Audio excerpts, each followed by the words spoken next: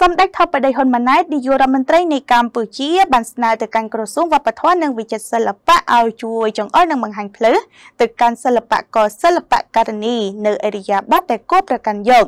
ដើម្បីសេចក្តីថ្លៃថ្នូរក៏ដូចជាដើម្បីបង្ការផលប៉ះពាល់ពាក់ព័ន្ធទៅនឹងវប្បធម៌និងប្រពៃណីជាតិការស្នើរបស់សម្ដេចថបដីហ៊ុនម៉ាណែតគឺបានធ្វើឡើងនៅរសៀលថ្ងៃទី25ខែមេសាឆ្នាំ2024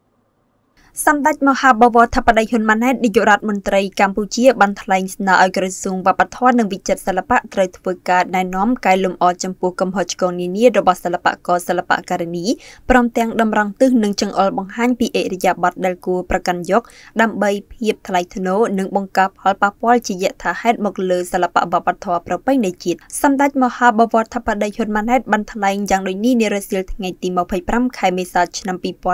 2024នេះឱកាសដែលសម្ដេចនិងលោកជំទាវបណ្ឌិតបច្ចិនមនីហ៊ុនម៉ាណែតបានអញ្ជើញជាអធិបតីក្នុងពិធីពិសាអាហារសាមគ្គីនិងបំពាក់គ្រឿងអិសរិយយសជូនលោកគ្រូអ្នកគ្រូសិល្បករនិងសិល្បករនីពិធីនេះរៀបចំឡើងនៅមជ្ឈមណ្ឌលពិព័រណ៍និងសន្និបាតកោះពេជ្រកម្មវិធីពិសាអាហារសាមគ្គីនិងបំពាក់គ្រឿងអិសរិយយសរៀបចំធ្វើឡើងស្របតាមគោលការណ៍នយោបាយរបស់រាជរដ្ឋាភិបាលដែលដឹកនាំដោយសម្ដេចនាយកហ៊ុនសែនអតីតនាយករដ្ឋមន្ត្រីនិងការដឹកនាំរបស់សម្ដេចថបតីហ៊ុនម៉ាណែតសម្ដេចមហាបវរធិបតីហ៊ុនម៉ាណែតបានថ្លែងថាការប្រកាន់ខ្ជាប់នៅក្រមសីលធម៌វិជ្ជាជីវៈសិល្បៈគឺជាយានឆ្ពោះទៅរកនិរន្តរភាពនៃភាពជោគជ័យដោយសម្ដេចបានណែនាំដល់ក្រសួងបព្វធម៌និងវិចិត្រសិល្បៈបន្តបើកចំហនិងពង្រឹងកិច្ចសហប្រតិបត្តិការគ្រប់គ្រងទៅដល់គ្រប់សមាគមសិល្បៈនិងអ្នកប្រកបអាជីពក្នុងវិស័យសិល្បៈត្រូវបន្តទូនីតិជាអាណាព្យាបាលផ្ដល់ការតម្រង់ទិសផ្ដល់ជំនួយផ្នែកបច្ចេកទេសព្រមទាំងត្រូវពង្រឹងនៅយន្តការលើកសរសើរនិងលើកទឹកចិត្តជាបានសរសើរលិខិតទទួលស្គាល់និងសំណើ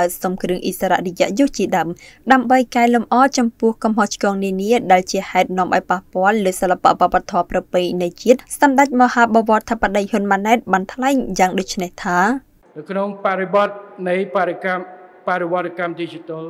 ការចែករំលែកព័ត៌មានក្នុងសង្គមឲ្យកាន់តែលឿននិងពិបាកទប់ស្កាត់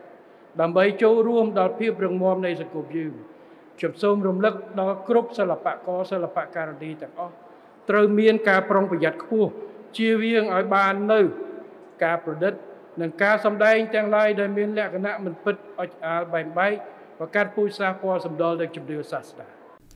ក្នុងឱកាសនោះដែរសម្ដេចមហាបវរធិបតីហ៊ុនម៉ាណែតបានថ្លែងដែរថារលកថ្មីចរានរលកមុខគឺជាក្រិតក្រមធម្មជាតិសិល្បករសិល្បករនីរៀមច្បងមិនត្រឹមតែជារលកនាំមុខប៉ុណ្ណោះទេប៉ុន្តែជាតួអង្គដែលមានបទពិសោធន៍និងជាគំរូដល់រលកចំនួនក្រោយដល់យុវជនបន្តវិញក្នុងន័យនេះការជួយជ្រោមជ្រែងបង្ហាត់បង្រៀនផ្ទេរចំណេះដឹងនិងការលើកទឹកចិត្តដល់យុវជនវ័យក្មេងគឺជាកាតព្វកិច្ចដើម្បីបន្តថែរក្សាមរតកដូនតា និងការបន្តរីកចម្រើនទៅមុខរបស់វិស័យសិល្បៈវប្បធម៌របស់យើងស្របពេលជាមួយគ្នានោះដែរសម្ដេចថបតីហ៊ុនម៉ាណែតក៏បានថ្លែងអំណរគុណនិងវិតម្លៃខ្ពស់ដល់គ្រប់តួអង្គនៃវិស័យសិល្បៈទាំងអស់ដែលបានចូលរួមគ្រប់គ្រងគោលនយោបាយរបស់រាជរដ្ឋាភិបាលការពារថែរក្សាកេរដំណែលដូនតានិងការចូលរួមពង្រឹងអត្តសញ្ញាណជាតិនិងប្រជាជន ជាពិសេសចំពោះការលះបង់ទាំងកម្លាំងកាយចិត្តដើម្បីចូលរួមគ្រប់គ្រងនិងផ្ទេរចំណេះដឹងនិងបទពិសោធន៍ដល់យុវជនបន្តវេនផងដែរ